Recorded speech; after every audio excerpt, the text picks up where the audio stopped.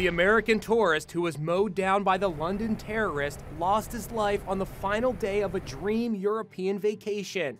Melissa and Kurt Cochran, seen here at a family get together, were celebrating their 25th wedding anniversary with the trip of a lifetime to Germany, Scotland, and the final destination, London. Kurt was thrown from the bridge, landing on the sidewalk below. Melissa suffered a broken leg. Just a few yards away, the killer, Khalid Masood, was claiming his final victim, police officer Keith Palmer. This is the last photo taken of Officer Palmer, just 40 minutes before he was stabbed to death.